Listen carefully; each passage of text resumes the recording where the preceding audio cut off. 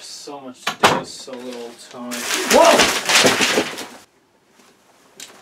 Oh, shoot! As if my room wasn't in enough of a mess already. Oh, hello there. I didn't see you there. Uh, I'm just cleaning up my messy room before college starts. Picked a rather bad day to do it. My semester starts pretty soon. Well, it's not like any other mall. It's not like any other railway enthusiast's rooms are clean. You should have seen the Reverend Awdry's study.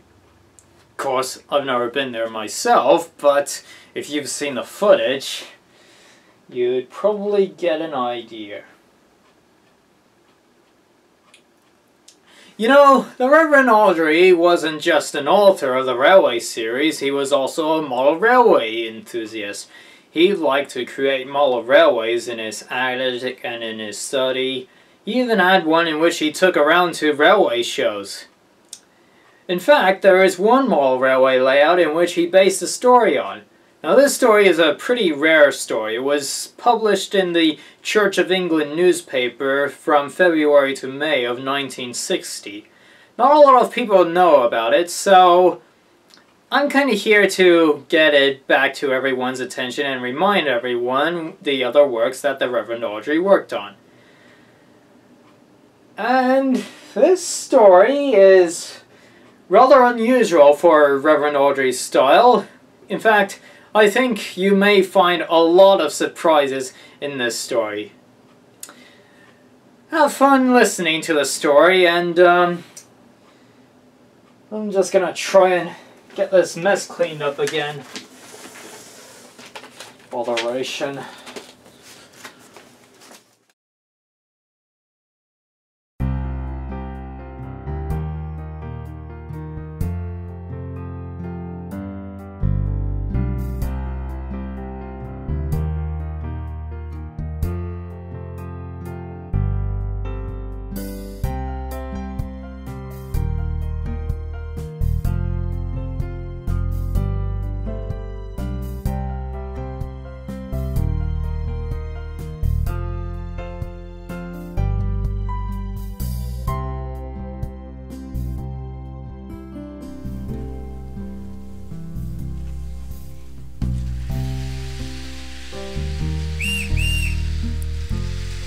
Roger bounced up and down with excitement. Look, Daddy, look! I'm driving my train on your railway! This was a special treat.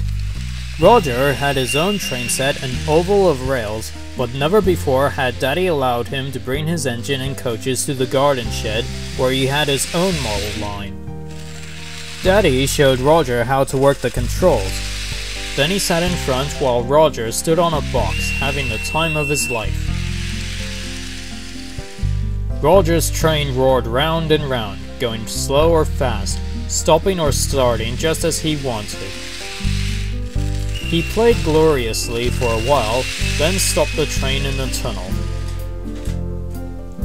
It's gone, Daddy, he announced. Now let's play proper trains. Proper Trains was their name for Daddy's sequence of trains running to a timetable, as all proper trains do. Right, said Daddy. We'll get your train out, then you can go out in front and tell me what to do. Roger enjoyed pretending to be the Fat Controller while Daddy worked the trains.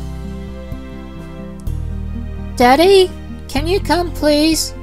Hello? Mummy's calling. I must go. If you stay, Roger, can I trust you? Yes, Daddy. Roger knew what that meant. It meant he had promised not to touch. These things are precious, Daddy had said. Your little fingers don't understand yet, and they might break something. You wouldn't want to do that. Roger didn't want to do it, but he had. One day he picked up a coach. Only to look at, Mummy, he explained tearfully. Then it dropped and broke. Daddy was cross. He hadn't allowed Roger in the railway shed for three whole days. So now Roger didn't touch. He didn't even move his train. He left it in the tunnel. He sat on the chair waiting for Daddy and looked at the railway.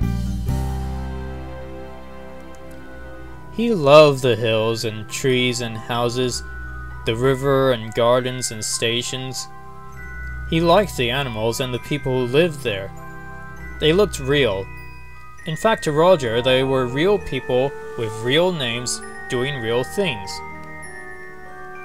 Mr. Horker was climbing the hill over the tunnel to see to his sheep. Mrs. Horker had taken her basket. She was going shopping. Ellen Horker was feeding the pigs while Simon, her brother, strolled about with his hands in his pockets. He's lazy, thought Roger. Why doesn't he plant the garden as his daddy asked him to? He looked at the plate layers. Course, Boo and Bert and Jim and Ted aren't lazy. They're just resting. They've been working hard mending the line. Roger half closed his eyes. They look realer than this, he thought. The room was warm and he felt sleepy. It's scandalous! I buy a ticket and get in the train. Do they take me to the junction? No, they bind me, they bolt me, they whirl me round and round and leave me in the tunnel. Frog! I'm going straight to the station. I shall demand my money back, and so Roger rubbed his eyes and stared. A crowd of little people surged out of the tunnel, all talking at once in shrill, angry voices.